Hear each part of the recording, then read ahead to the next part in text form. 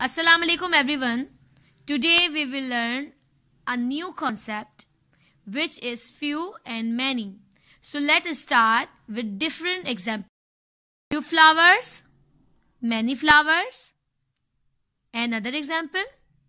Few pencils, many pencils. Few seeds, many seeds. Few coins, many coins few books, many books, few chocolates, many chocolates.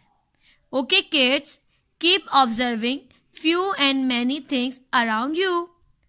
Take care. Bye bye.